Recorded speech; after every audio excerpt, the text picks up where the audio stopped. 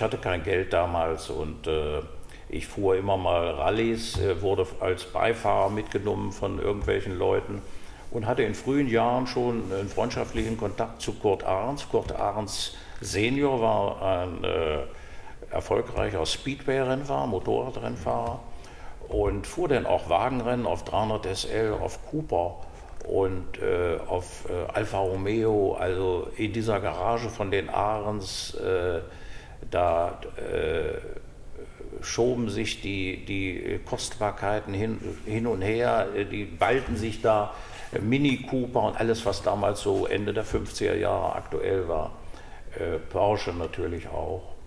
Und äh, der Vater Arndt sagte dann zu mir, ja, willst du nicht auch mal fahren? Formel Junior bin ich dann eingestiegen. Und äh, fuhr ein Lotus 18. So kam das ein bisschen in Gang und ich habe dann die nächsten Jahre äh, Kurt Ahrens selber, wir sprechen von dem Namen Ahrens, wurde ja ein äh, super, super Rennfahrer, ein Weltklasse-Rennfahrer, äh, excellence. Äh, und äh, der erste 917-Sieg vor 50 Jahren, das war er, der den rausfuhr mit Joe Siffert zusammen. Er war ein äh, grandioser Fahrer. Übrigens der Einzige, der es abgelehnt hat, Formel 1 zu fahren. Jack Brabham hatte ihm das mal angeboten. Damals fuhren Brabham und Rindt zusammen bei Brabham. Und er hat es abgelehnt. Er hat gesagt, nein, ich will die Formel-1-Fahrer sein. Das ist mir zu aufwendig, zu zeitaufwendig. Muss ich nach Australien, muss ich vielleicht nach Südafrika und so. Das will ich nicht. Und äh, noch eine bemerkenswerte Sache bei Kurt Arns. Äh, wir kommen mit dem Gespräch, äh, das Gespräch ufert etwas aus. Äh, Kurt Arns war einer, der mit, äh, im Alter von 32, nee, mit 30 mit Jahren hat er gesagt, ich höre auf. Ich erinnere mich noch, wie wir bei ihm im Büro saßen. Ich sage, warum willst du denn nicht weitermachen? Ne? Oh, nein, sagt er, ich will überleben. Und das ist auch ein Kernpunkt äh, dieser Zeit des Rennsports. Ich will überleben. Er hatte äh, seine viele Freunde hatte er äh, tödlich verunglücken sehen oder musste es lesen. Hier ist wieder einer tödlich verunglückt, da ist wieder einer gestürzt. Und er und ich, wir haben mal ein Programm äh, zur Hand genommen von 1964. Und da war tatsächlich die Hälfte dieses Rennwagenfeldes, äh, die Hälfte der Fahrer waren nicht mehr dabei, die waren tödlich verunglückt. Ja. Also das war schon eine Zeit, das kann man sich heute nicht mehr vorstellen. Äh, die Öffentlichkeit würde sowas heute gar nicht mehr tolerieren. Und dass er damals sagte, ich will überleben, das war schon ein starker Spruch. Äh, ich ging dann auch 1972, war mein erster Anruf bei ihm, ich sagte, guck wir haben einen Sponsor geworden, wir haben Jägermeister jetzt, wir können uns, äh, du kannst dir einen schönen Wagen kaufen. Er sagt, nein, ich will nicht mehr. Ja. Ja, auf Ihre Frage kommt, ich habe mich so durchgehangelt in den 60er Jahren. Ich war ja Journalist und äh, es ergab sich immer mal eine Möglichkeit, äh, Rennen zu fahren. Jemand suchte fürs Sechs-Stunden-Rennen einen zweiten Fahrer. Ja, äh, die waren ja, diese Rennen waren ja mit Fahrerwechsel, oft 500 Kilometer Rennen. Und so fuhr ich immer weiter, fuhr mal Rallyes, fuhr mal dies. Aber das richtige Racing, äh, das begann 1972 und äh, wenn Sie die Geschichte nicht langweilt, äh, es war so, ich habe, ich habe mit einem 914.6 die Rallye Monte Carlo äh, fahren wollen und merkte, dass äh, mein Kassenbestand etwas niedrig war und ging zu meinem Cousin Günter Mast. Günter war der Geschäftsführer damals des Unternehmens, war der allmächtige Chef bei Jägermeister und äh, sagte, Günther, hast du nicht mal 500 Mark für mich vielleicht? Ich brauche ein bisschen Benzingeld und das Nenngeld ist teuer, ich will die Rallye Monte Carlo fahren.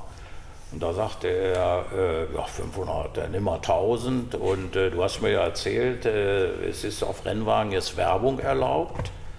Dann komm doch nach der Rallye, die du da fährst, kommst du noch mal wieder und dann reden wir mal über diese ganze Sache, was wir daraus machen können. Und wir konnten dann äh, tatsächlich was draus machen. Äh, ich kam nach der Rallye zu ihm und er sagte, ja, du ver äh, verpflichte doch so einen Starrennfahrer und dann immer so ein Rudel von Rennwagen drumherum und du ja selber kaufst auch einen Rennwagen, den du haben willst. Egal was es ist, kaufst du. Wie, wie, betäubt habe ich das Büro verlassen. Ja. Und ich war aber selbstkritisch genug, mir nun nicht irgendwie so ein äh, ganz exotisches Ding zu kaufen, so ein Brep im Formel 2 oder ein Lola Sportwagen mit Cosworth-Motor, sondern ich dachte, 914 bist du gewohnt, ja, also nimmst den, den ich in der zahmen Straßenversion und Rallye-Version gefahren hatte, den nimmst du als Rennwagen. Und da erwarb ich äh, bei Max Moritz den damals, so sagte man, schnellsten 914.6 in Europa. Der war in Le Mans gelaufen, war, hatte das 1000 Kilometer Rennen, äh, die Klasse gewonnen 1971 und den Spa gewonnen. Und dieses Auto habe ich dann erworben und bin äh, zwei Jahre damit gefahren. So begann äh, meine etwas intensivere Rennlaufbahn. Ne? Und äh, im Jahr 1974 war mir denn das Ding zu langsam und da kam gerade der Porsche Carrera RSR auf die äh, Rennstrecken, ein, ein, tolles Auto mit einem 3 Liter Sauchmotor und etwa 320 PS. Und äh, Jägermeister kaufte also auch das Auto für mich und der 14er wurde weggegeben. Hm? In diesem äh, Carrera RSR bewegte man sich natürlich schon auf einem gehobenen Level. Damit will ich sagen, da fuhren natürlich schon richtige Asse.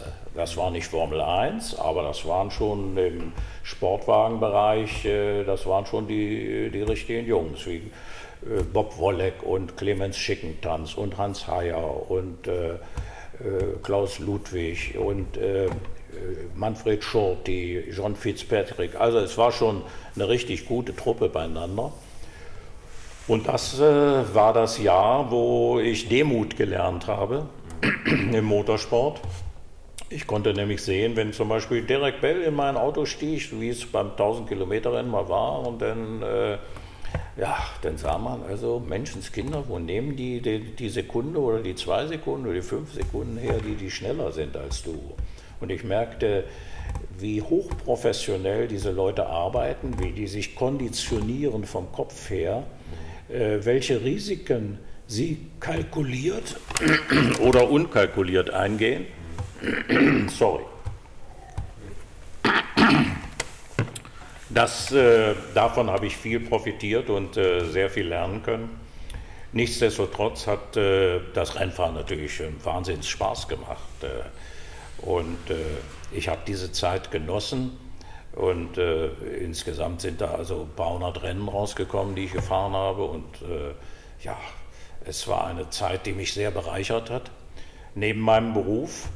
Und äh, ich kann sagen, äh, ich hatte auch bestimmte Erfolge und habe aber gesehen, äh, wie, wie anspruchsvoll Racing sein kann.